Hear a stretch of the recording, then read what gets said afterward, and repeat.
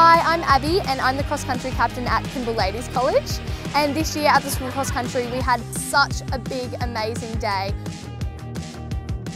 Yeah, this year was a major event because all the girls were able to get involved, whether it was competitive or non-competitive. It was such an amazing time. They were able to earn more house points and nominate the sport of their choice to win the Fittest Sport Award.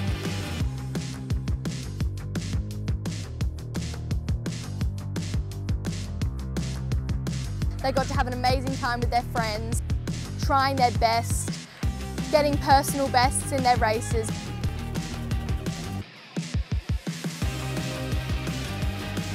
It's honestly just such an amazing sport. You get to get out in the fresh air, it's great for your mental health, and it's honestly just a lot of fun.